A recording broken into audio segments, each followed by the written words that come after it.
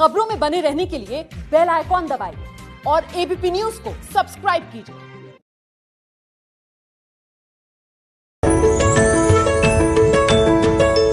मिथुन राशि, ये दिन आपको लाभ दे सकता है, इसलिए अच्छे निर्णय लीजिएगा। ये दिन नए रिश्ते जोड़ने के लिए भी बहुत अच्छा है, कुछ अच्छे रिश्ते आपके जुड़ सकते हैं।